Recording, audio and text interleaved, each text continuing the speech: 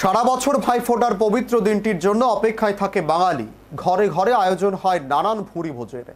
বিশেষ করে মাছ, মাংস, মিষ্টির ব্যবসায়ীরাও জমিয়ে ব্যবসা করেন এই দিনটিতে।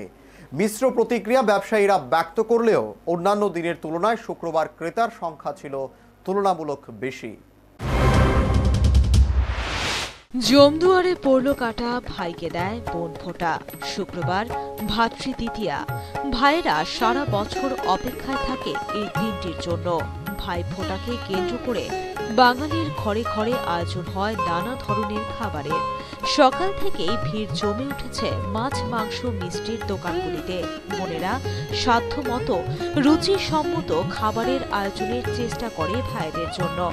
রাজধানীর বটতলা বাজারেও এদিন সকাল থেকে জমে ওঠে ক্রেতাদের ভিড়। তবে মাছ, মাংস অন্যান্য দিনের চাইতে ছিল চড়া দাম।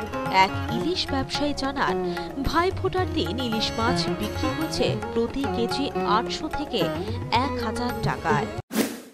এক হাজার টাকা কিলো আটশোশো নয়শো ওজনের মাছ, ছোটো আছে আবার পাঁচশো ছয়শো ওজনের মাছ। এটা হইল আটশোশো টাকা না না না না। মাছের দামটা তেমন একটা বেশি না। অন্যান্য সময় যেমন দাম থাকে তেমনই দাম আছে। তবে পাঠার মাংস বিক্রেতা জানান এ বছর তুলনামূলক বিক্রি কম হয়েছে। অন্যান্য বছরের তুলনায় বাইশটাতে কেমন? খারাপ। অন্যদিকে রাজধানীর জনৈক মিষ্টি বিক্রেতা বলেন মিষ্টি বেচা কেনা ভালোই হয়েছে। বাজারটা কেমন? মিষ্টির বাজার কেমন? ভালোই। অন্যান্য বছর তুলনায় আবার কেমন চলছে? ভালো। চলছে? কী কী আইটেম বানানো হয়েছে? এর মধ্যে স্পেশাল কী আছে? স্পেশাল অনেক কিছু আছে।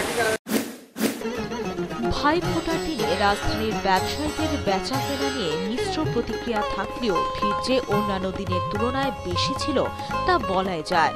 বিরোধী সিপিএম এর ঘোষিত মন্দার বাজারেও ভাতৃদ্বিতীয়া উপলক্ষে মানুষ টাকা খরচ করতে কার্পণ্য করছে না। অর্থাৎ সিপিআইএম এর রাজ্যে মন্দার বাজারের স্লোগান যে কতটা ফাঁপা তা বলাই বাহুল্য। Report, news Vanguard.